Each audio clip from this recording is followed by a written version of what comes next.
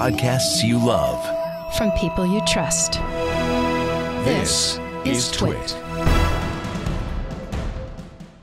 This is Triangulation, episode 430, recorded Thursday, May 19th, 2022. After Steve.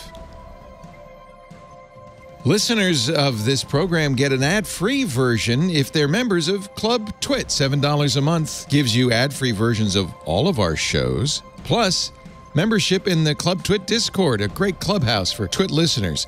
And finally, the Twit Plus feed with shows like Stacy's Book Club, The Untitled Linux Show, The Giz Fizz, and more. Go to twit.tv slash clubtwit. And thanks for your support. Yes, hello, everybody. Triangulation, which is now kind of an on and off effort, uh, is the show where we get together with some of the most interesting people in technology, spend an hour talking to them. And I, and I couldn't resist uh, resurrecting Triangulation after I read this book. It's called After Steve. You've been hearing a lot about it lately, how Apple became a trillion dollar company and lost its soul. Our guest is the author, Tripp Mickle was at Wall Street Journal, I think, when he wrote this, now at the New York Times. Tripp, welcome to Triangulation. Thanks so much for having me. Good to see Yeah. you. Good to see you as well.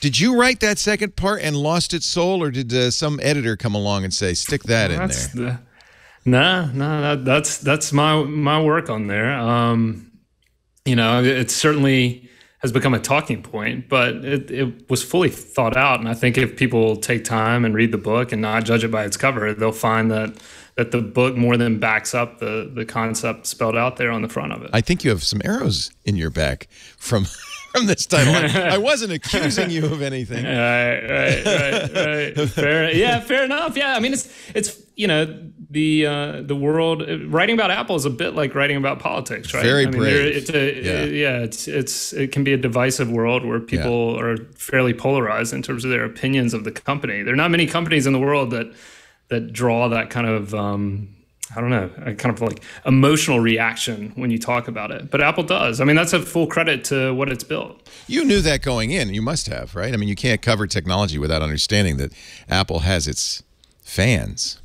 Yeah, you you know it going in, but you don't fully appreciate it until you until until you until you write that first article that you know that may challenge the company or call, call into question some of its business practices. I I think my first one was on Siri and uh, and some of the flaws in Siri and shortcomings in it You and why love it? and uh, and you know it was really an explanation of some of the some of the challenges behind the scenes in terms of um, getting direction and support to to make it kind of uh, be everything that they promised it would be. I guess. Um, I mean, I believe me, I know I've been covering Apple since the 90s, early 90s. I've watched them come and go and up and down. I met I remember hanging out with Steve on a weekend uh, right before he went back. Uh, he was at Next and he was so bitter about Apple. So bitter. In fact, he said, "You know, Apple, we had a lead. We were beating Microsoft and then we just sat on our laurels under Herr Spindler and John Sculley and Gil Amelio, and that 10 year lead is gone. This was right around, let's see, this would have been 90, 93 or 94. So this would be right around when Windows uh, 311 came out. And he said it was over by then. Apple's, uh, uh, you know, we'd lost our, uh, we'd lost our, he was really mad and really uh, bitter. But of course, as you and this this book begins a little bit with Steve coming back to Apple, but it really is the book that needs to be written because we have plenty of books about Apple under Steve Jobs, both the the the first round and then Becoming Steve, which was a great book talking about his transition into the the new Steve when he came back to Apple. But there hasn't been a lot written after about what happens after Steve died, and I think this is the book that very much needed to be written because uh, I don't I don't think we really knew how difficult this transition was going to be for Tim Cook and Jony Ive. There were a lot of people. I, I think I probably include myself. I remember after Steve died, I told my dad, "Sell your Apple stock. It's over." I, every Thanksgiving, I hear about that because he didn't. uh, but I was not alone. Um, and in fact, one, one of the things I got from the book that I was fascinated by is how much both Tim and Jony were rocked by the loss of, of Steve Jobs, the whole company.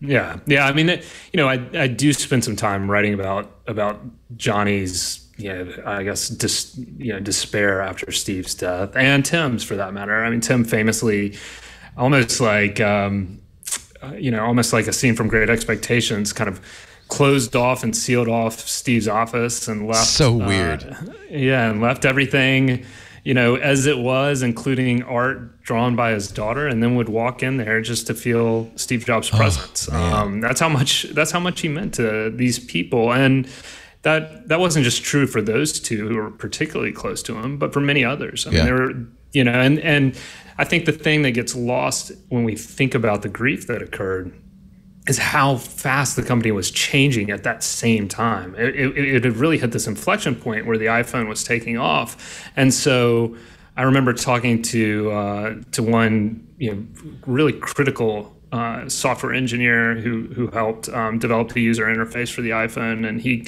he could recall pulling into work not long after Steve's death, and the entire parking lot being totally overrun, and he had to like park, you know, down the road and then make this long walk to the office. And he was like, "This place I don't even recognize Yeah. anymore." So you lose the founder, and the place is changing, and that that combination I think was just really really difficult for many people to endure.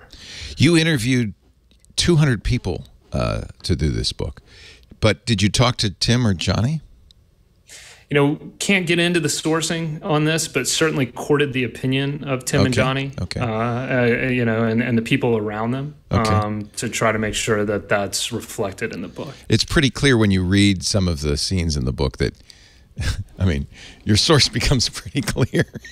when, when you know, you, you say that, and I got I got to push back a little bit because Okay. uh, you know I, I was watching the I was watching the snippet from the View where they had Jonathan Martin on to talk about this McCarthy uh, audio Uh-huh. that, he, that he got, and you know he was just making the point that everybody thinks they know who Yeah. provides this audio audio recording, but ultimately it's never who you think it is. You know, I there's don't- I- so yeah, I people certainly- who are connected to these things. I certainly don't want to get anybody in trouble.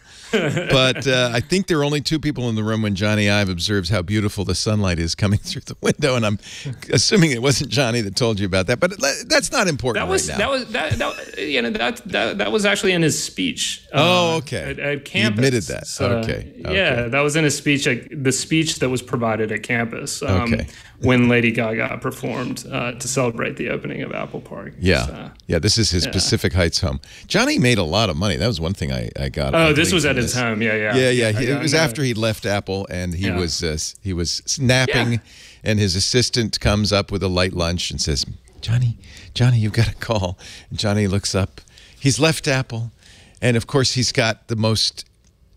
I can't imagine this, but your description is very good. Severe room with hardly any color except for the a beautiful bouquet of garden roses, and he looks up and he sees the light streaming in from Pacific Heights, and admires the light. and then, and then you say there are all, there's a handful of people in the world who see more colors than anybody else. His assistant looked at the light, said, "Yeah, that's nice." Um, that's so. There are a lot of things uh, I want to talk about with this book. It's really it's quite fascinating and it's it's beautifully written. Uh, as anybody like me who I think I'm more obsessively than most covered every event in in the book, you know, through the years. It's always fascinating to hear what was going you know we see from the outside what's going on but to hear what was going on in the inside. And you've got obviously got some very good sources for how apple was thinking what was going on.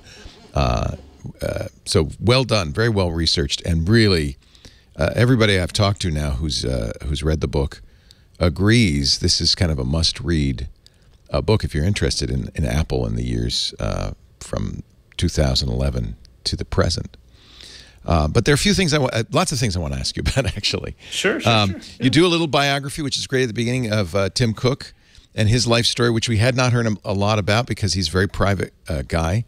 Uh, same thing with Jony. Uh, both of them uh, in their youth, not much like the the characters we know today. Maybe Tim is more like his uh, original self uh, than uh, than Jony. Jony is. And I'm curious what reaction you've gotten from his camp on this, because I'm sure it's intended to be sympathetic, but he maybe and maybe it's just me, but he comes off as a little bit of a, a kind of an arrogant designer. It's, it's possible that you know that's your read and your interpretation. But they didn't. But the sure. but the but you didn't hear from them afterwards. I haven't, No. I haven't heard, I haven't heard any criticism Okay. of it. I mean, I, I, you know, I uh, Maybe it's accurate. I'm sure Maybe- people, I'm sure people who are close to Jony would probably look at that and say, well, you know, if you He's brilliant. if you have such a dis- distinct way of seeing the world, and Yeah. you know, you Yeah. you have confidence about how something should be designed or made, then um, then uh, arrogance, you know, may be just part of the process. I mean, we have. Um, you know, culturally, I think do we make different allowances for people Right. who are who are artistically minded. Um, you can see that in you know in music or or art or anything else. and certainly no one would say Steve Jobs is less than arrogant. Uh, they made a very good team, in fact, and you point this out in the book. Uh, they were uh, kind of like soup and sandwich. They were they they were a perfect pair, and and and there's a great image in it uh, where I thought of football, where Steve is running interference for Jony, as so that Jony can freely run down the field and design the iPhone or the Apple Watch or the Bondi Blue iMac, and Steve's just getting people out of the way, getting the no sayers out of the way, and saying, "No, this is how we're going to do it." Um, you talk about the handle on the original round Bondi Blue iMac that Jony knew was going to cost a lot of money to go back and retool it, put a handle on it, and he knew at any other company they'd say, "Well, you can't do that," and and Steve said, "No, that's a great idea. Let's do it." He signed off on it. Um, but that's partly the tragedy of this is that after Steve, uh, Jony did not have that support from Tim Cook. Yeah, yeah. Tim Cook um, was, you know, he was front. He, he was on the outside of of the creative circle that was at the heart of the company, right? And he was worried about about the operations aspect of of what was going on at Apple, and it's just.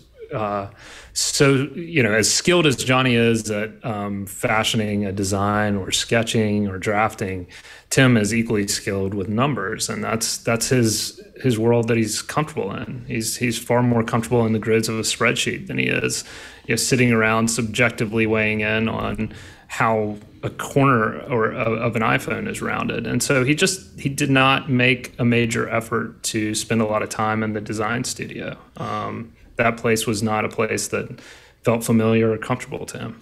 it's easy at any point in the game to say, "Oh, Tim made a mistake," but when you look back at what he's, you know, Apple's net worth and the success of their products and their their vast success, it's hard to find fault with anything Tim Cook has done.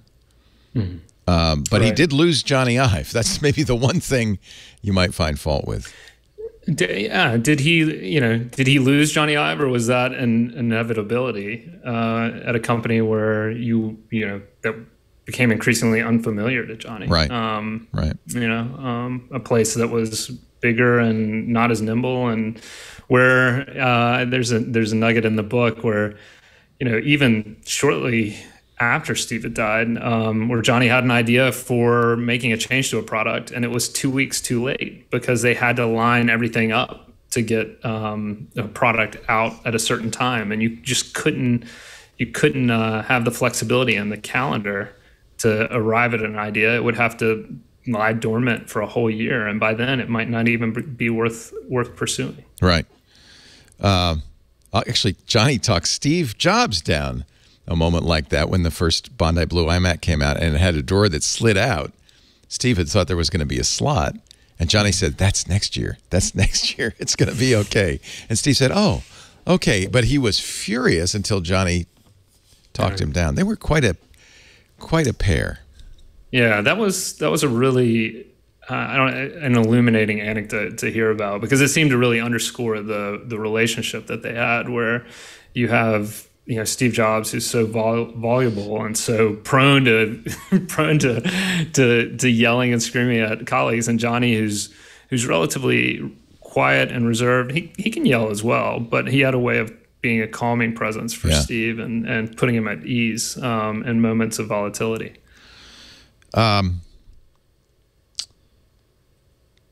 You talk uh, a little bit about uh, this is it's interesting because I get I, I hate to say that Tim Cook didn't have Jony's back because you talk about a an event that kind of I had not heard about that stunned me uh, when the Apple Watch first came out. Many of us remember this event. It was held at uh, De Anza College, a kind of ugly community college in San Jose.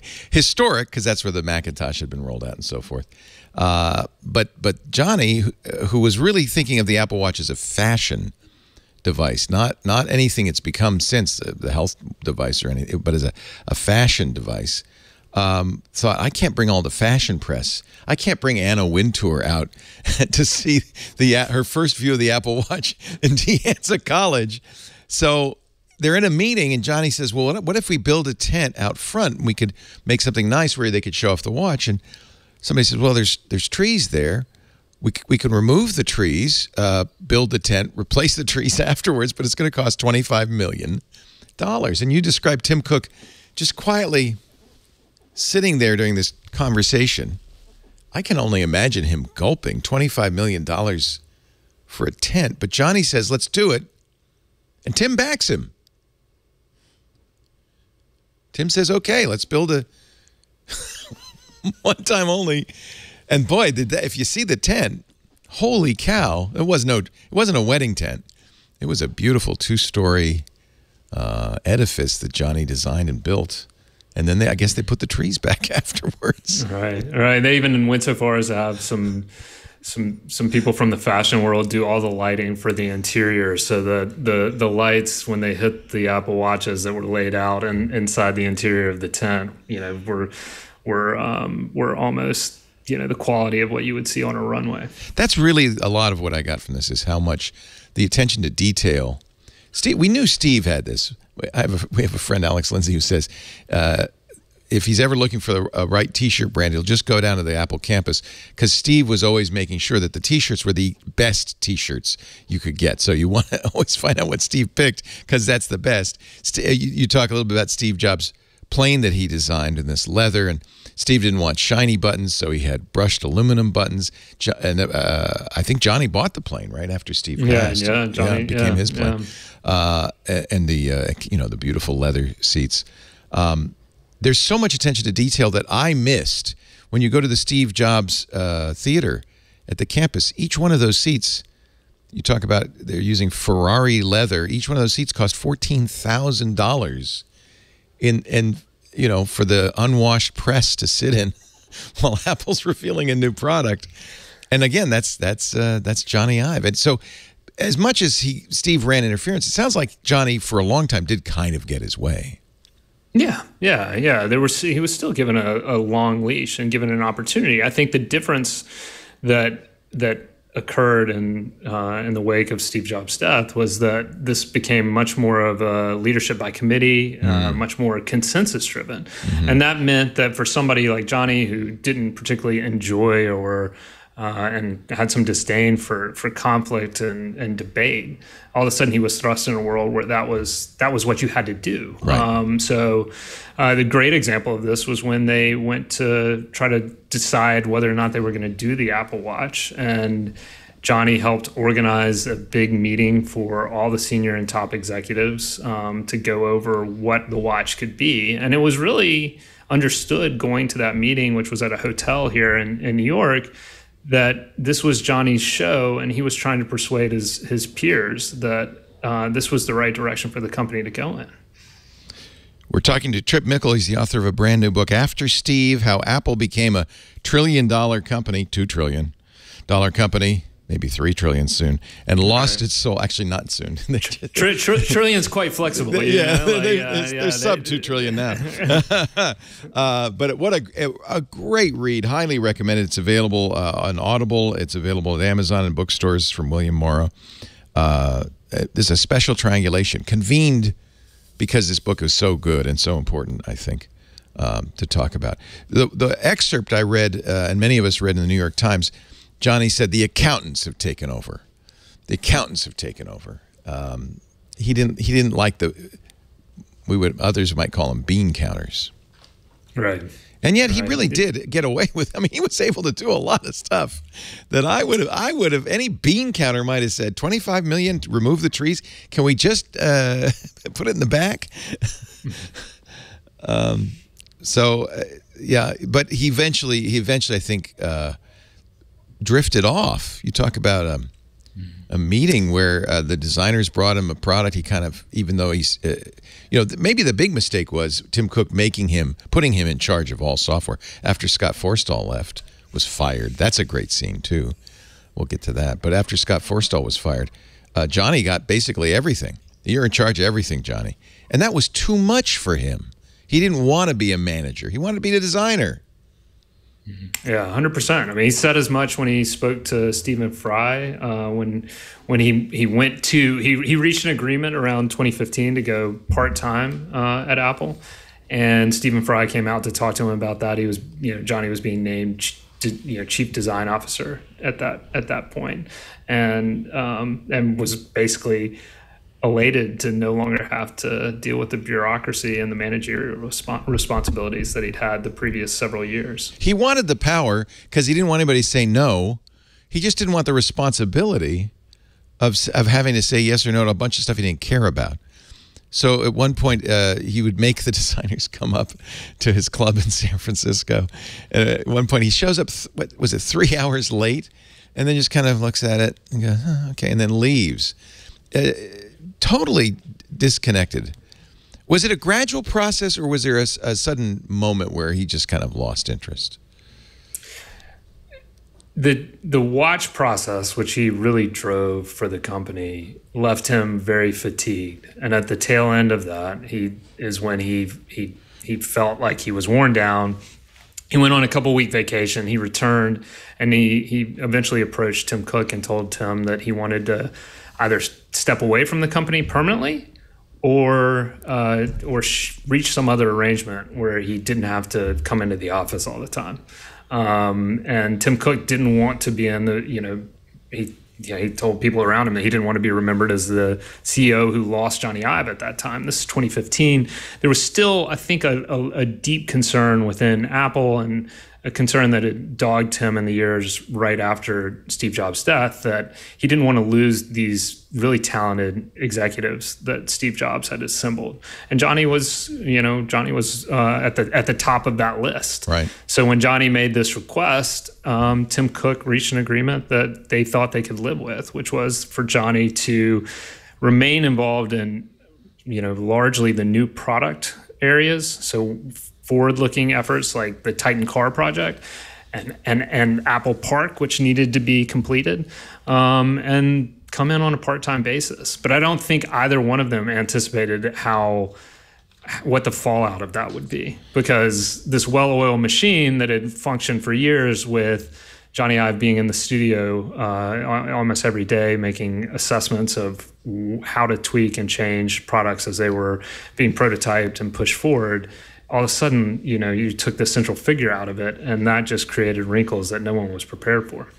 The watch was, though, the first uh, product after Steve's death that was 100% uh, under Tim Cook and, and really under Jony Ive. And Jony brought this on himself, by the way. I think we remember the the the charity uh, product red auction that he designed a, a Leica. He and Marc Newson, his friend, designed a Leica camera for and a what I think it was a red. There was a red cooler or something, and mm-hmm. just some a bunch of stuff. He was working on all these other projects, doing the lobby of Claridge's hotel uh, for Christmas, and just all this other stuff. In addition to spearheading what was going to be the, the, most important product uh, coming out of Apple since Steve's death.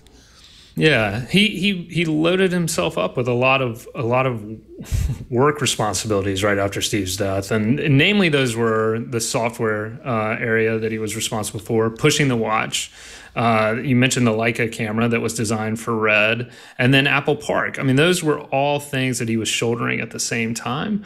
Uh, I think any one of those you could look at and say, "Well, that's a lot, a lot to work on." Less so the charity thing. That was obviously a bit of a sideshow and diversion. But the other stuff, I mean, that's that's a lot of responsibility. He went from managing a you know primarily a team of about twenty designers to dealing with um, manifold number of designers in the software area, and that's that's really complicated if you don't want to spend a lot of time, you know, approving expense reports. The when he left Apple, he has a, he got a hundred million dollar, uh, well, it's golden parachute, but also contract for his company, LoveFrom, to to consult Apple.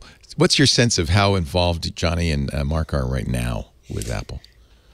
They're still involved in like an advisory capacity. I think that'd be the best way to describe what they're doing. So if if you know products are, are continuing to be worked on, they'll come in, weigh in, offer their advice.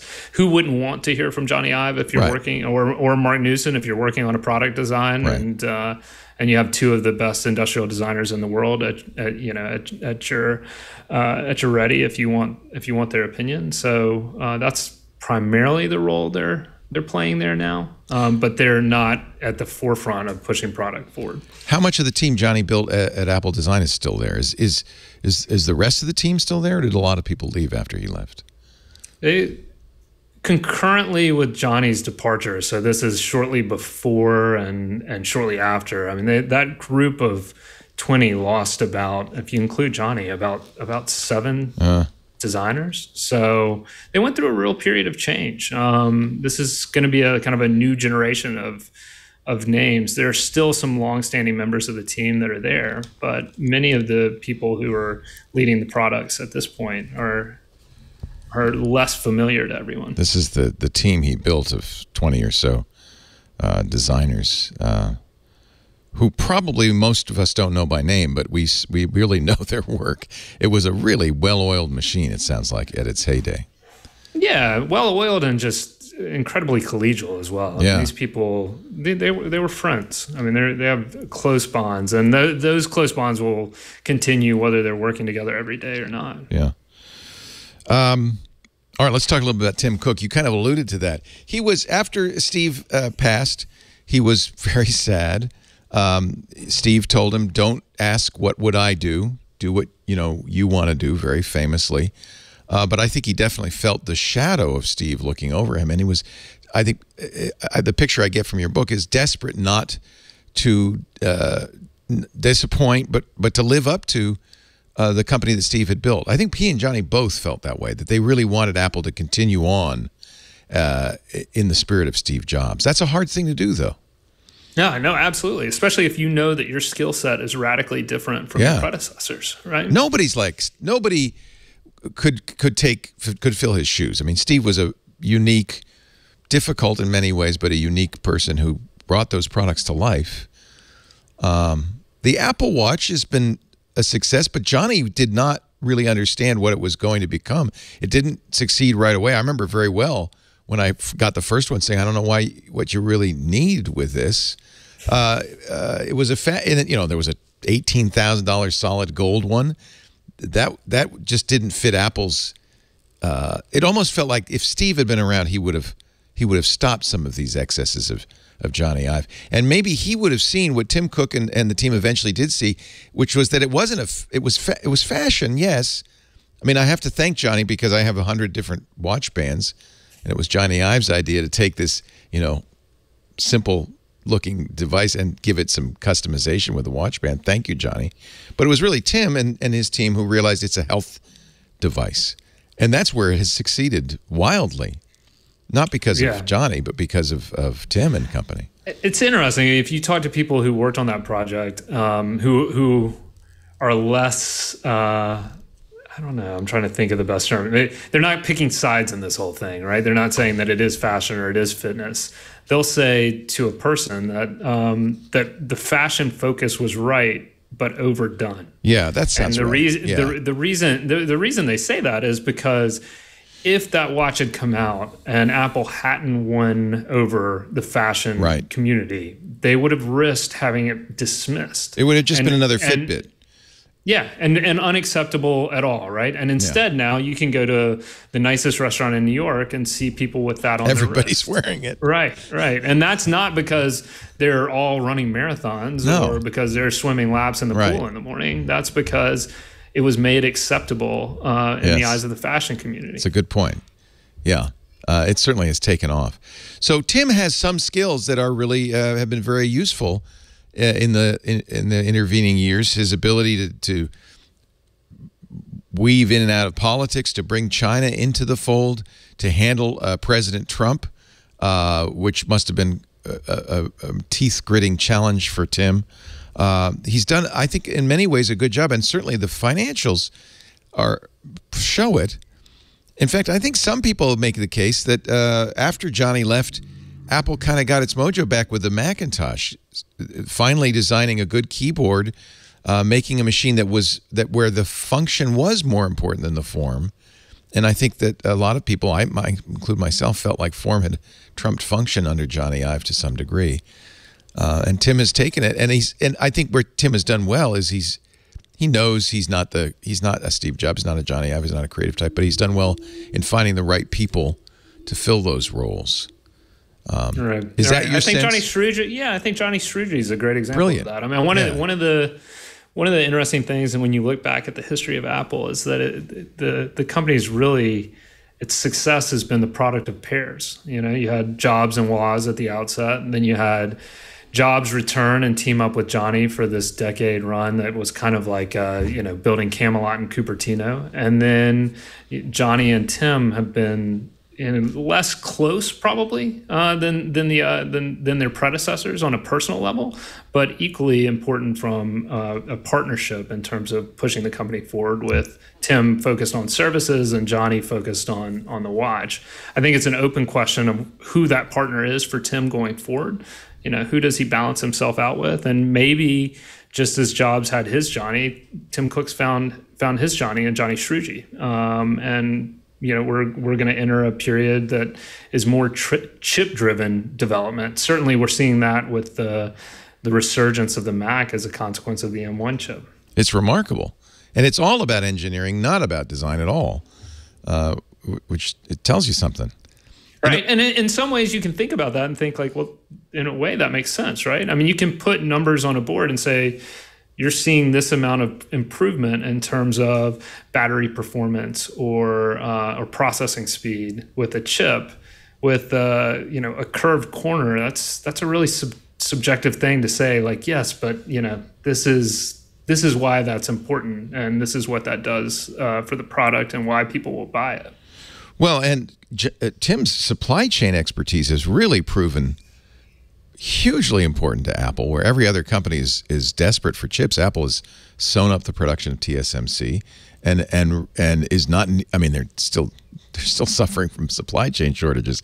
But I can only imagine what it would have been like had Tim Cook not been there, uh, uh, spearheading Oh. Their relationship. Tim Cook. If Tim Cook wasn't there, we wouldn't be talking about Apple right now. I think not. Even even even if the iMac had been a success, they would have left sales uh, sales on the on, yeah. On the table. They, they wouldn't have been able to ship enough product to fulfill the demand that that Steve and Jony created with that product.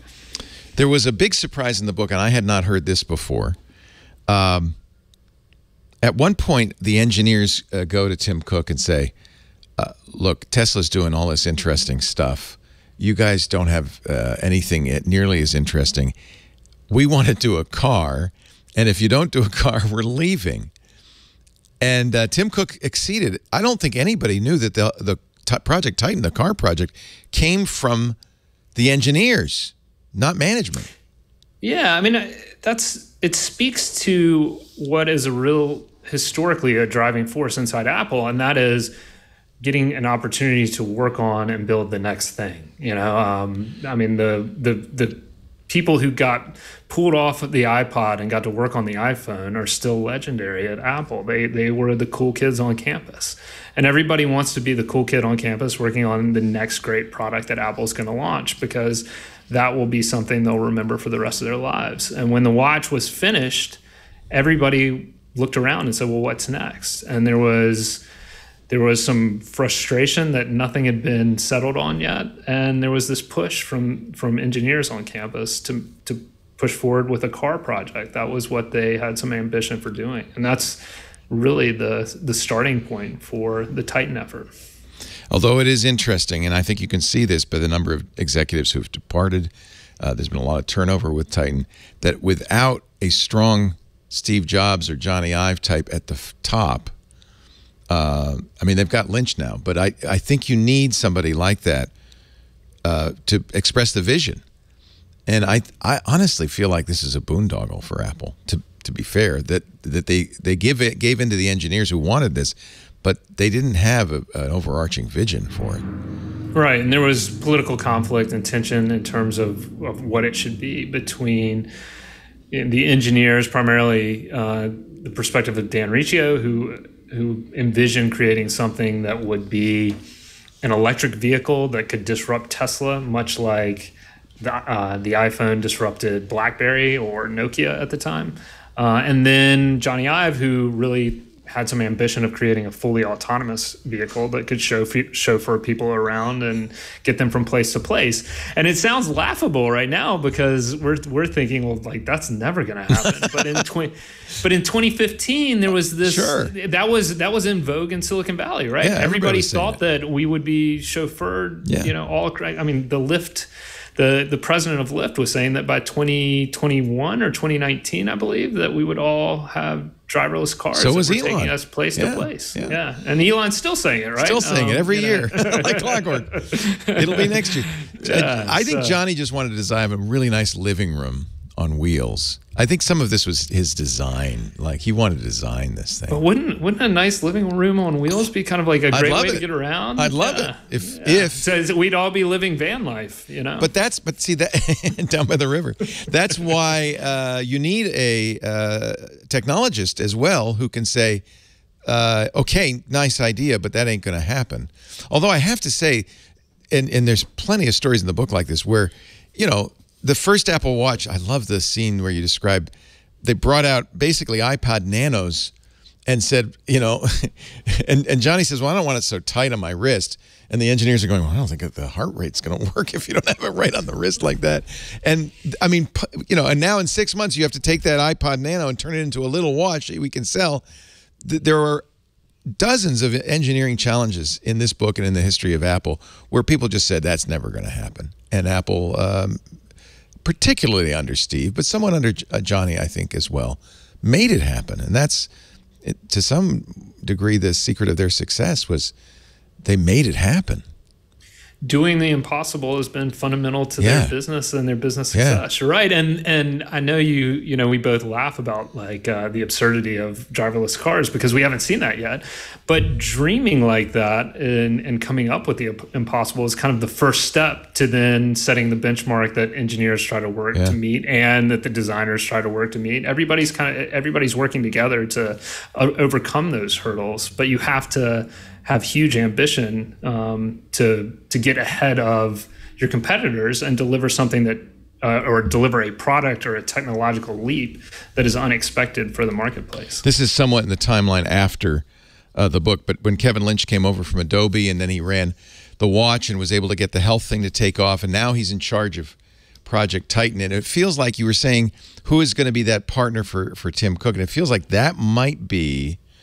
Uh, one of them anyway when it comes to the card that that's apple saying look we're gonna we got to put our best guy in there. And i think that right now that's who they feel is is one of their best guys. Yeah one, one of their best guys but what, what we're seeing are a multitude of best guys right? So you've got you've got you've got mike rockwell doing the work on uh, on ar as well and right. some of that's been a passion project for him and, and trying Who's, to push that project forward uh, almost independently in a way so um, yeah, of course. Hopefully, Kevin Lynch doesn't have the same situation that occurred with like everyone else who's been in that position. Yeah, and they've all left. They, yeah, they've all left. Right. Yeah. Um, he's been a long-standing contributor at Apple, so you wouldn't want to lose somebody like that. Mm-hmm. But um, but that seat has not been one that people want to stay in very long. It seems Tim Cook is big in on AR. I mean, Tim is a champion of that. Yes, is that your sense? Yes, um, but he's also a champion of autonomy, right? Yeah, um, yeah. So uh, you know, I think I think he takes direction from the people who know the technology and and the product development process better than himself.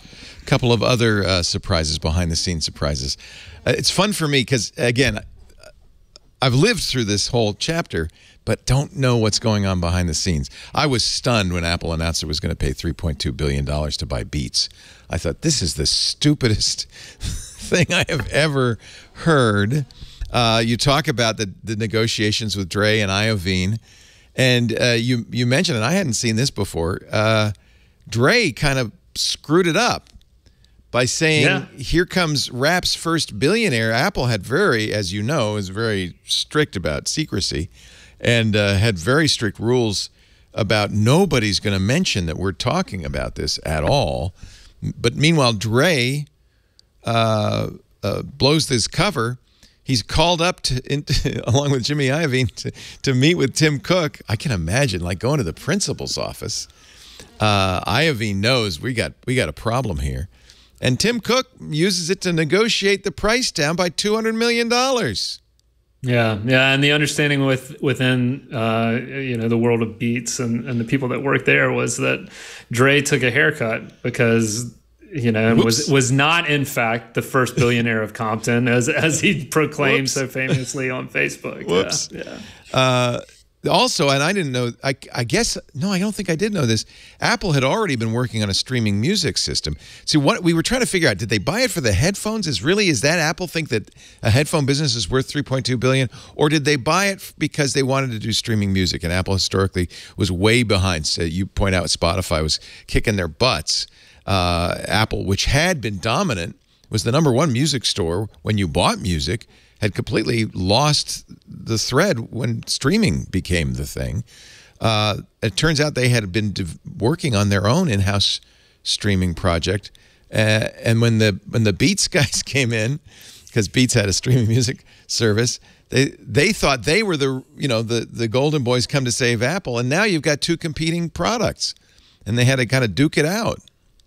Right, right, yeah. I mean, I you know the ambition was to create the music service. Of course, the Beats Beats staff come in, as you noted, and uh, and discover wait, Apple's already at work on this. What? We had we had no idea, and and and as a result, they had to fuse together these two different products. And that was not easy because, as you'll recall, the Beats culture and the Beats identity was very different from Apple. I mean, you know, Jimmy Iovine and Tim Cook are pretty different figures, and uh, and and Beats was built in Jimmy's image, yeah, while yeah. Apple had the discipline of of Tim Cook um, fully in in in play by that point in time. Um, and you know, some of this was most evident, and some of the tension around this was most evident in some of the the design vision for how. Uh, Beats Beats music would then become Apple Music. They looked very look different. Like. iTunes yeah. and Beats were completely different. But the the the team from Apple favored a more iTunes looking experience, and the team from Beats favored a more Beats looking experience, which was a bit more of what we've seen Apple Music become. Right. Um, you know, large large album art and you know, scrolling through songs and so on and so forth. And um, it really took Eddie Cue weighing in and looking at and assessing the two different proposals as the book details and and looking at them and going, well, this one obviously looks better. Why would we do the other one? But that that other uh, kind of Apple driven idea was in at the forefront because the people at Apple had more power as right. this as this process was was unfolding. As it turns out, it didn't matter because if you could put it on a billion phones and a billion pockets, you're going to win no matter what. And and Apple's uh, music was and is a huge success uh, out of the box, even mm-hmm. if it yeah, wasn't as good as Spotify. Yeah, I think, and I think that speaks to the, you know one of the interesting areas that Tim Cook got involved in when it came to the Apple Music development process, and it was it was their ambitions in terms of sales, how many subscribers they would sign up, and there was a, a meeting that the marketing team from Apple Music came into, and they said, "Oh, we think we can go from 100,000. these are people from Beats, hundred thousand subscribers to ten million, which they thought was a huge leap." And Tim just kind of sat back and said, is that the best you can do? um, and by the time they walked out of the meeting, they realized they'd had to double their numbers to 20 million, which they thought was insane. Um, but it's you know, and then the product comes out, and of course, it faces a bit of uh, criti- critical blowback from tech reviewers. And lo and behold, within a year, they've hit their numbers. Yeah. Um, because Tim Cook just intuitively understood the power of how how deep the iPhone's reach was by that point in time. Yeah. If you own the platform, you can do a lot of things. Um, which reminds me of uh, Apple TV Plus. You talk about the the big rollout um, uh, with Oprah. They really wanted Oprah mm-hmm. to come back out of retirement for him. Um, that has proven to be a little bit more difficult to to uh, succeed. But Apple has an advantage. They don't have to make music on uh, make money on music or TV uh, because they have Apple One and they have services and they just it's a value add. So they're in a very they're kind of now with the trouble that Netflix is having. I think they're sitting in the catbird seat. So that may also end up being a yeah, yeah. It's it's interesting um, when you look at uh, some of Apple's good fortune over the past decade. I think the the foremost example of that is Samsung and what happened uh, to Samsung with its Galaxy Galaxy phones exploding. Right, this was at a time where Apple. They and were Tim scared. were- they were really scared. Yeah. it was it was it was not in their mind going to be the best iPhone cycle, and Samsung was still really challenging and pressing them at this point, and they were going into I think that was the iPhone seven, if I'm, I'm not yeah. mistaken. Yeah, they had just done the six when the Note 7 came out and blew Yeah. up. yeah and so and and and so they lo and behold that that phone wound up being a much much more popular Yeah. phone than they thought it Yeah. would be and Ti- tim cook who's famously so exacting when it comes to projecting how much inventory they'll need missed missed his numbers and that was a combination of Sam, samsung literally exploding and then also uh, you know not fully appreciating the power of that that portrait feature on the camera and how Right. popular that would be Right. Yeah. Samsung had iris recognition. So they thought, oh, this face recognition that we're, you know, working on isn't going to be a big deal because, again, scooped by Samsung. It's funny because, of course, Apple sued Samsung for ripping off everything they did. But in the long run, it was Samsung who led the way to big phones and, and proved that there was a market for a big phone with the Note. And Apple followed mm-hmm. suit with the 6, 6S Plus, and bigger and bigger and bigger phones, and they have even and today the small phones don't are kind of flops. They can't they mm-hmm. can't Yeah. sell them. Yeah, Right. Yeah. Yeah. Yeah. They're they're scaling back their mini their Right. mini ambitions, Right. all Right. because it's not not as popular as even people who are vocal about it would assume it would be. yeah. Uh, so are you going to continue covering Apple, or are you, if you had it, are you? yeah. No. I you know I, I I've recently joined the New York Times about a month ago, and I'll be covering Apple for for the Times now. Are you- so um, I, this is about after about a year of covering Google. So I spent I spent some time covering Google as well. I think you're uh, better off. What the? What, uh, we're trying to figure out what the hell's going on with Google. They they've lost their mojo. It feels like. Well, have they? I mean, they have a they have possibly the most lucrative and That's the best problem. business ever created. That's Uh, the you know, problem. they, they don't have to do What- anything. They've got search and ads. yeah, search search is just uh, you know it's a license to print money. Right. So I think that it's, it's interesting. It, it- that's what Apple doesn't have. They're always on the edge. They had the the iPhone could have done that to them actually, uh, because it's so successful. But I think they understand that you know it's 52 percent uh, this quarter of their revenue. That it, they need it to be less and less and less, and they need something else. They need the next new thing. Google feels like they're just throwing stuff on against the wall, and they get tired of stuff, and they don't. It doesn't matter because they've got search and search ads, and it doesn't. The rest of it doesn't matter. Right. They need to com- try to compete in the hardware space so that they don't fully have to subsist on the back of like Amazon. Let's say if the Echo had become even bigger, right? I mean, Right. that Google Assistant would have been squeezed out of that marketplace. Um, so they rushed into Google Home, rushed out Google Home just to be sure they they were competing in that world. But um, but they've never found their footing from a hardware perspective. Um, that's why they pay Apple so much for default search position. Even on though for some reason Tim Cook can't seem to remember just how much. Yeah. Some amount. yeah, yeah, yeah. yeah, Yeah, yeah actually, you talk about this when uh, Amazon came out with the Echo. Apple was stunned. They thought these guys, they're just, uh, they're just, you know, it's Walmart online. What, are- what are- they don't have any hardware, and so they were not ready for the success of the Echo at all. Yeah, yeah. I think I, I was talking to somebody with from Google this week, and they had the same reaction. You know, I think Amazon just caught everybody by surprise. Um, they just did not anticipate that they'd be able to do that. That's why- and, And it, and it and it particularly chafed some people at Apple because some of the engineering talent that was working on the Echo had spent time at Apple. So Apple had a chance, or you know, the ability to do some of the um, some of the microphone technology that was core to the Echo, and let let some of that expertise walk out the door. You spend a lot of time talking about uh, the uh, uh, locked iPhone and the terrorists, the San Bernardino terrorists, and Apple's stance and the fight back and forth is a very interesting era. Um, do you do you credit Apple's uh, assertions that they're protecting our privacy. Do you think they really do care about that? Is it a marketing term for them, or it's it's both. It's both. I mean, it's it's and it's all relative, right? I mean, when your when your peers are companies like Google and Facebook, which are built on the back of advertising, you can draw a pretty sharp contrast when your business model is different. Um, I don't think Apple's insincere when it says it's committed to privacy, but I do think there are holes in its commitment, and it's aware of those. I mean, the the great example would be just the fact that if you back up to the iCloud. Right. Uh, those, those encrypted messages that you have on your phone, as Paul Manafort discovered, aren't That's quite right. as protected as you would think. That's right. When I saw that Paul Manafort indictment, that was kind of like an eye opener. Oh, mm-hmm. oh, they got all, they got all his WhatsApp messages, huh?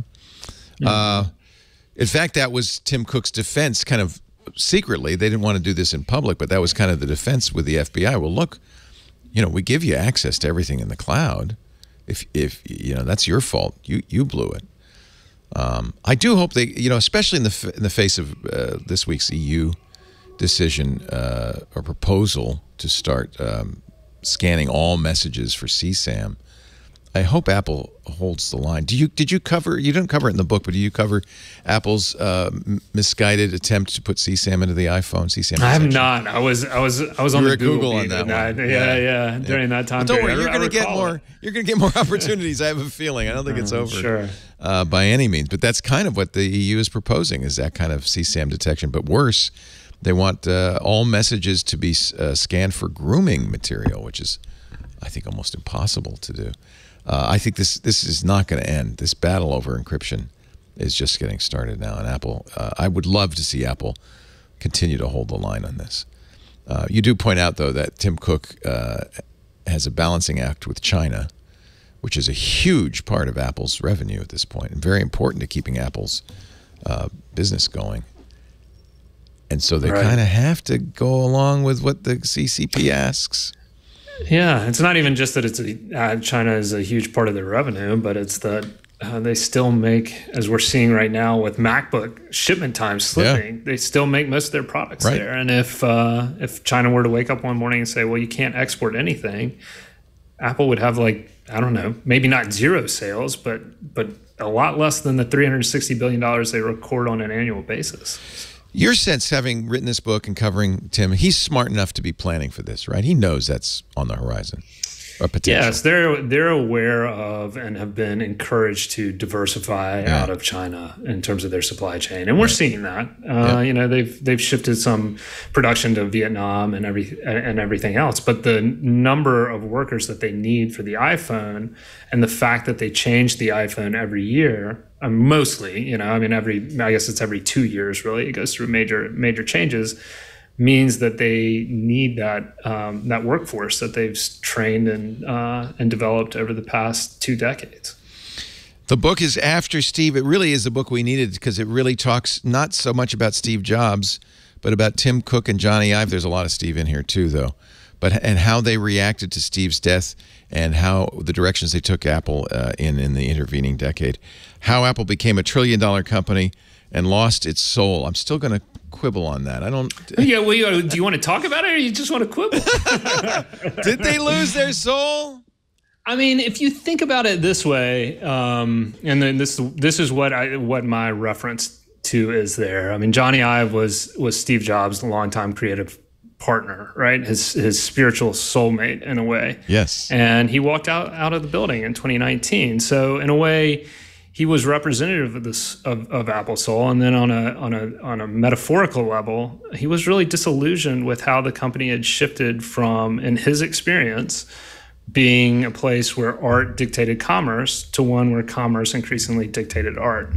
Um, and that's that's a change that I think you know, is one that you don't readily see in the financial figures, but it is one that people who work there have experienced. Um, and, you know, it's changed the, the way their, their day-to-day experience is at Apple.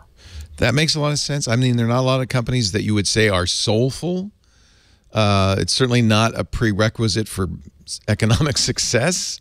Uh, and in fact, I think you can make the argument that some ways Jony uh, did some things that were you know artistic, but not necessarily good for Apple as a as a company.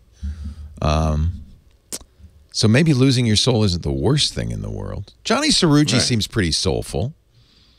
I bet he can get down. Yeah, there you go. So you know, you, re, your soul can be reborn, right? I, Uh, I think know? you you raised the really interesting question of who is to Tim Cook what Jony Ive was to Steve Jobs. Who's going to be that guy? And I think you're right. I mean, you know, you've got Lennon and McCartney. You've got the Beatles right behind you there. Obviously, Lennon and McCartney. You, I think it's not uh, unusual in business to have an art artist and to have a bean counter. And if you confuse those two well, you can really do amazing things. And that's what Steve and Jony did. Uh, and so that is a, I think, an important question. You've got a master of business, Tim Cook. There's no question about that. But who's is Jony Ive? Is I guess ultimately the question. So maybe maybe not lost, but searching for their their new their new soul. Their I'll, new I'll send you the edits on the next book that I write. no, no, no. I don't want to edit it. I think this is a perfect book. I highly recommend it. It's hard to put down. It's really great reading. Uh, if you're a close Apple follower, you'll you'll you'll get you'll thrill from all the behind the scenes stuff. Uh, if you haven't been following Apple closely, you may be amazed at the at this story because it is not a clear arrow to the moon. It is definitely uh, a, a kind of a, a random walk, but it somehow they've made it, and uh, and this this chronicles it. It's a really good book, Tripp, and I'm very pleased that we could talk. I as soon as I read the excerpt in the New York Times, I said I want to get Tripp on the show, uh, and now having read the book, I'm very very glad uh, we did. Good luck at the New York Times. We'll be reading you with with great interest and Yeah. uh, following your coverage of the fruit. Thanks so much for for reviving triangulation. To, to Just for you, this. I did it. Fun. This Just for fun. you. Yeah, it's been a blast. Thanks, I've Tripp. enjoyed it. All right. We'll Thanks see so you much for having me. We do right, we'll triangulation uh, off and on when we get somebody great like Tripp Mickle to do it. We will also put it just, you don't have to subscribe to the triangulation feed, although that feed still exists. And uh, if you were subscribed to it, here you have a surprise episode. Uh, but we also put it on the uh, much more active TWiT events feed. And uh, that's where you can get Apple events, Google events, uh, announcements of that kind, and special events like this. So subscribe to one or the other or both. That's that's great if you do. And we thank you so much for watching. We'll see you next time on Triangulation. Bye bye.